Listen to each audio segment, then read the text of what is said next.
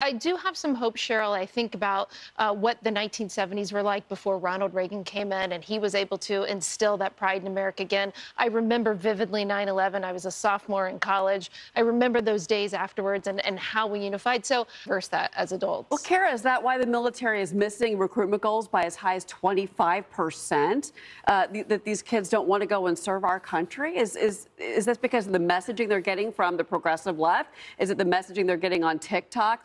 Far and wide from everyone. So I do believe it's still alive. We just need to like rev it up a little. I think it is. You know, Kevin, who's probably really great. By the way, I can't put a finer point on this. Congressionally mandated means we gave you a bunch of money. You got to tell us exactly. Yeah, I don't care. I thought.